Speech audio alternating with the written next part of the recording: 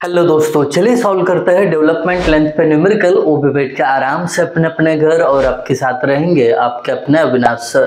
तो देर किस बात की है? फटाफट शुरू कर देते हैं आज का लेक्चर तो दोस्तों, आज बेहद ही सिंपल तरीके से, आसान तरीके से ये दो न्यूमेरिकल सॉल्व करेंगे।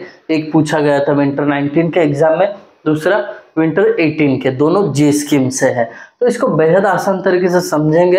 ये मैं आपको गारंटी देता हूँ बट आपको लेक्चर के स्टार्ट से लेकर एंड तक बने रहना है। चलिए क्यों कोई है जिसने अभी तक चैनल को सब्सक्राइब नहीं किया, फटाफट कर दीजिए, बड़ा आसान काम है। अब आइए विंटर 19 के एग्ज़ाम का न्यूमेरिकल क्या कहता है, ये पहले समझते हैं। उन्होंने कहा है, एक बार है जिसका डायमीटर 16 एम mm है, अब उसका जो डेवलपमेंट लेंथ निकालना है, वो टेंशन और कंप्रेशन दोनों कंडीशन में निकालना है। अब वो बार के अराउंड जो कंक्रीट मटेरियल है वो एम ट्वेंटी ग्रेड का है, फिर वो steel F E five hundred grade का है। F E five hundred grade का स्टील मतलब डिफॉर्म्ड बार है। कैसा है? डिफॉर्म्ड बार है। फिर उन्होंने टाउ बीडी दिया है one point two newton per M M square तो हमें फाइंड आउट क्या करना है? Development length in tension development length in compression तो आइए, बड़ा आसान होगा ये सॉल्व करना। तो सॉल्व कर लेते हैं सबसे पहले टेंशन के लिए। L D for tension bar okay tension therefore L D is equal to zero point eight seven into F Y five upon upon four tau B D अब इसमें वैल्यूज़ पुट करना शुरू कर देते हैं। Zero point eight seven into F Y कौन से grade का स्टील है? फाइव हंड्रेड तो पाँच सौ। Five sixteen M M diameter है इसका। अब फोर टाउविड कितना दिया हुआ है? वन पॉइंट टू अब यहाँ पे देखिए टेंशन में है, इसके लिए कोई दिक्कत नहीं बट डिफॉर्म बार है। बार अगर डिफॉर्म रहता है तो उसका सिक्सटी परसेंट क्या करते हैं हम? क्या करते हैं हम? टाउ बी डी बढ़ाते हैं। बराबर? तो जो ओरिजिनल 1.2 था, उसमें 1.6 से मल्टीप्लाई किया इसके पीछे रीजन ये है कि दिया हुआ steel bar deformed steel bar है। ठीक है, अब इसका क्या करना पड़ेगा? सिंपली कैलकुलेशन नहीं तो करना पड़ेगा। कर लेते हैं।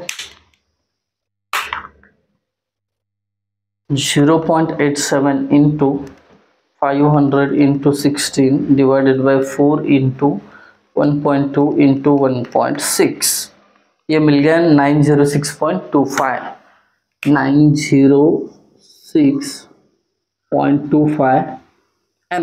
ये पहले केस का होगा इंटेंशन अब बात करते हैं हम सेकंड केस की इन कॉम्प्रेशन अगर वो बार कॉम्प्रेशन में है तो उसकी डेवलपमेंट लेंथ कितनी होगी? बड़ा आसान न्यूमेरिकल है, बस ध्यान देख के देखना. L D is equal to zero point eight seven F Y into five divided by four tau B D अब वैल्यू पुट करते हैं zero point eight seven F Y steel bar पाँच सौ एफ़ ई ग्रेड का है। फिर उसके बाद डायमीटर ऑफ़ बार सिक्सटीन है divided by four original tau B D one point two है। अब यहाँ पे देखिए डबल धमाका ऑफ़र चल रहा है। टाउ बी डी आपको पहले तो डिफॉर्म्ड है, इसके लिए सिक्सटी परसेंट बढ़ाना है। फिर ऊपर से वो कॉम्प्रेशन में भी है। इसके लिए फिर ट्वेंटी फाइव परसेंट बढ़ाना है है ना? एक, दो। दोनों कंडीशन है इसके लिए। दोनों से बढ़ा है। देर फोर अगर कॉम्प्रेशन में आपका स्टील वार है तो उसका डेवलपमेंट लेंथ कितना होना चाहिए, देख लीजिए। Zero point eight seven into पाँच सौ into sixteen divided by four into one point two into one point six into one point two five तो seven twenty five M M कितनी होनी चाहिए? Seven twenty five M M that's it ये होगा इसका answer winter nineteen का numerical solve हो गया. चारों के चारों मार्क्स आपको मिल गए. अब यहाँ पे। अगेन सिक्सटीन एम एम ये विंटर एटीन का सॉल्व कर रहे हैं. फटाक से कर लेते हैं। डायमीटर स्टील बार का सिक्सटीन एम एम फिर उसके बाद उसका ग्रेड जो है फोर वन फाइव है। और उसकी डिज़ाइन बॉन्ड स्ट्रेंथ दी है 1.4 newton per M M square. Find out क्या करना है? डेवलपमेंट लेंथ इन कॉम्प्रेशन अब यहाँ पे न्यूमेरिकल का स्टेटमेंट देख के कई बच्चे कंफ्यूज हो सकते लास्ट में उन्होंने टेंशन कहा है।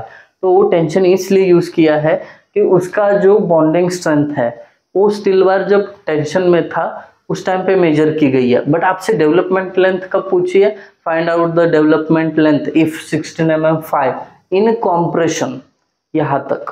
मतलब कॉम्प्रेशन में है, तभी आपको फाइंड आउट करना है।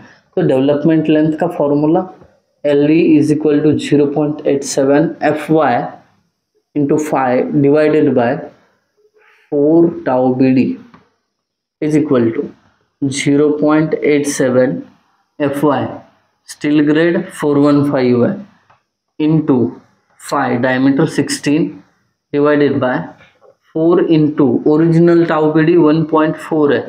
बट एक पहली चीज़ बार जो है डिफ़ॉल्ट बार है, इसके लिए सिक्सटी परसेंट से बढ़ाया इंटू ऊपर से ये कॉम्प्रेशन में निकालना है, इसके लिए वन पॉइंट टू फाइव से मल्टीप्लाई यानी ट्वेंटी फाइव से बढ़ा दिया। Therefore development length is equal to जो भी आएगा आंसर आप कमेंट कर देना, आपकी कैलकुलेशन पे पूरा भरोसा है। तो चलिए दोस्तों, अगर वीडियो अच्छा लगा तो कमेंट करना, अपने दोस्तों के साथ ज़रूर शेयर करना। जितने व्यूज़ और लाइक्स बढ़ेंगे, उतने ज़्यादा वीडियो तेज़ी से आएँगे। Thank you guys for watching video thank you so much